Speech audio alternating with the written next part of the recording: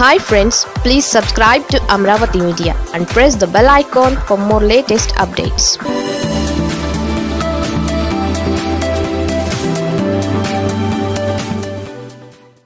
జగన్కు ముప్పై ఏళ్ళ జైలు శిక్ష తీర్పు చెప్పేస్తున్న చంద్రబాబు. ఆదాయానికి మించిన అక్రమాస్తుల కేసులో జగన్మోహన్ రెడ్డికి పది నుండి ముప్పై ఏళ్ళు జైలు శిక్ష పడడం ఖాయమేనా? తాజాగా చంద్రబాబు నాయుడు వ్యాఖ్యలు చూస్తే అందరిలోనూ ఇదే అనుమానాలు పెరిగిపోతున్నాయి. అసోసియేషన్ ఫర్ డెమోక్రటిక్ రిఫార్మ్స్ సంస్థ విడుదల చేసిన నివేదికలో స్పష్టంగా ఉందని చంద్రబాబు చెప్పడమే ఆశ్చర్యంగా ఉంది. మామూలుగా అయితే కోర్టు విచారణలో ఉన్న కేసులపై బయట ఎటువంటి వ్యాఖ్యలు చేయకూడదని న్యాయ వ్యవస్థ గతంలోనే స్పష్టం చేసింది. అయినా ఏదో సంస్థ నివేదికలో ఉందని చెప్పి జగన్కు ముప్పై ఏళ్ళ జైలు శిక్ష పడడం ఖాయమని చెప్పడంలో అర్థమేంటో? సరే చంద్రబాబు వ్యాఖ్యలను పక్కన పెట్టేస్తే జగన్ మీద అవినీతి కేసులు దాదాపు పదకొండేళ్ళుగా విచారణ జరుగుతున్న విషయం తెలిసిందే.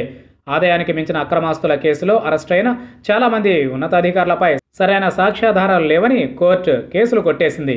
జగన్ ఒత్తిడి వల్లే ఉన్నతాధికారులు అవినీతికి పాల్పడ్డారంటూ అప్పట్లో సిబిఐ ఈడీ కేసులు పెట్టి చాలామందిని అరెస్ట్ చేసింది. అయితే తర్వాత జరిగిన విచారణలో ఉన్నతాధికారులపై నమోదు చేసిన కేసుల్లో సిబిఐ సాక్ష్యాధారాలను చూపలేకపోయింది.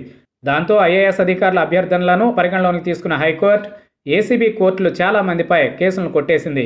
ఇదే సమయంలో విచారణ ప్రారంభంలోనే అప్పటి ముఖ్యమంత్రి కిరణ్ కుమార్ రెడ్డి దివంగత ముఖ్యమంత్రి వైఎస్ఆర్ హయాంలో జరిగినట్లు వచ్చిన ఆరోపణలపై తన మంత్రివర్గానికి ఎటువంటి సంబంధం లేదని దాఖలు చేసిన అఫిడవిట్ను కోర్టు అంగీకరించింది.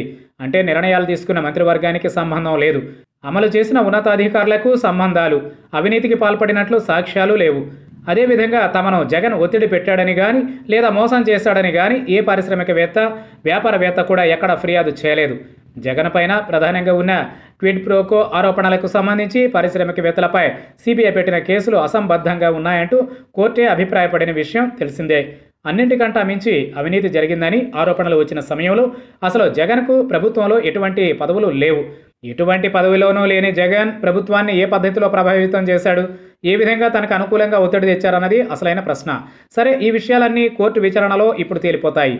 మరి ఏ ఆధారాలతో అసోసియేషన్ ఫర్ డెమోక్రటిక్ రిఫార్మ్స్ తన నివేదికలో జగన్కు శిక్ష పడుతుందని చెప్పిందో తెలియదు. దానిని పట్టుకుని చంద్రబాబు గుంటూరు లోక్సభ నేతలతో మాట్లాడుతూ చెప్పడం ఏంటో